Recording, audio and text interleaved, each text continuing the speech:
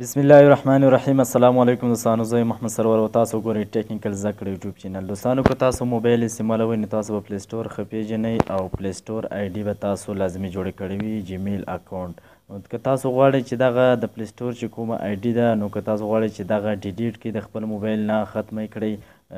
بغیر د څه سافټ ویر نه بغیر د څه موبایل ډیسټور نه ډیر خلک داسې کوي چې دغه آی ډي چې کومه دا ډیلیټوي د ډیلیټېدو لپاره موبایل ډیسټوروي سافټ ویروي نو بیا هغه آی ډي چې کومه دا هغه مور سره ډیلیټېږي د خپل چې کوم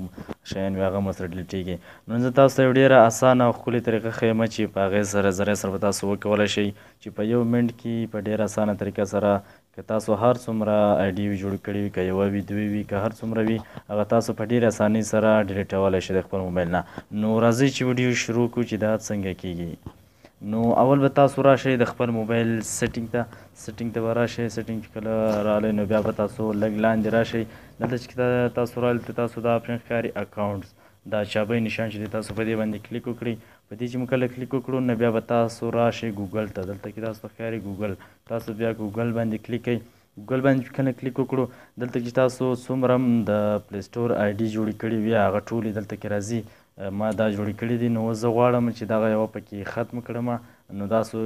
کومه تاسو که یوه جوړ کړې وي هغه یو پکې راځي ما دا جوړې کړې دي نو غواړم چې دا یو پکې ختم کړم نو تاسو چې کومه ختموي په هغې باندې به کلیک وکړئ په هغې چې کله تاسو کلیک وکړو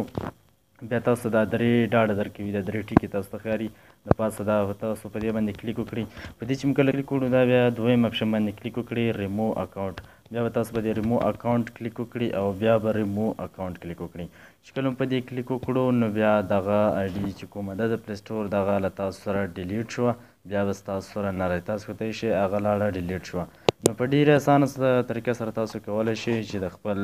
جیمیل آی ډي چې کومه ده هغه په ډیره اسانه طریقه سره ډیلیټ کړئ نو مين لرم چې ویډیو به مو خوښه شوي که مو خوښ شوي نو لایک یې کړئ شیر یې کړئ او د داسې نورو ویډیوګانو لپاره در سره زموږ چینل سبسکرایب کړئ تر بلې ویډ پورې په لوی لاس پارم په خپل دعاګانو کې میاد ساتئ د خدای په امان